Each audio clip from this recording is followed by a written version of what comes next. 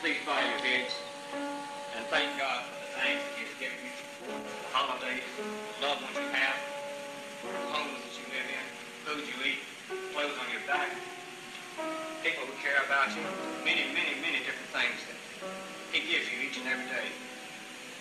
Most important of all, please thank Him for the Son that He gave for this world to die for shed his blood on the cross.